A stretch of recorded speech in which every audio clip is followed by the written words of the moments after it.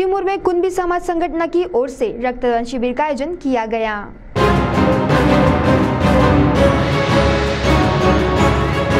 Corona virus के चलते भविष्य में रक्त की कमी हो सकती है, जिसको ध्यान में रखते हुए बीते दिनों राज्य के आरोग्य मंत्री राजेश टोपे ने नागरिकों से रक्तदान करने का आह्वान किया था, जिसके तहत बड़ी संख्या में नागरिक रक्तदान कर रहे हैं। उसी के तहत चिमुर के कुंभी समाज संगठन की ओर से शासकीय रक्त पेटी चंद्रपुर के सहयोग से रक्तदान शिविर का आयोजन किया गया श्री गुरुदेव सांस्कृतिक भवन, वडाला, पैकू, चिमुर में सुबह 10 से 4 बजे के दरमियान इस रक्तदान शिविर का आयोजन किया गया जिसमें बड़ी संख्या में रक्तदाताओं ने स्वेच्छा पूर्वक रक्तदान किया इस शिविर का उद्घाटन तहसीलदार संजय नागतिलक के हाथों जगत गुरु तुकाराम महाराज तथा छत्रपति शिवाजी महाराज की प्रतिमा को माल्यार्पण व पूजन करके किया गया। इस मौके पर भीसी अपर तालुका के तहसीलदार परीक्षित पाटिल चिमोर नगर परिषद मुख्याधिकारी मंगेश कौले के साथ अन्य प्रशासकीय अधिकारी उपस्थित थे।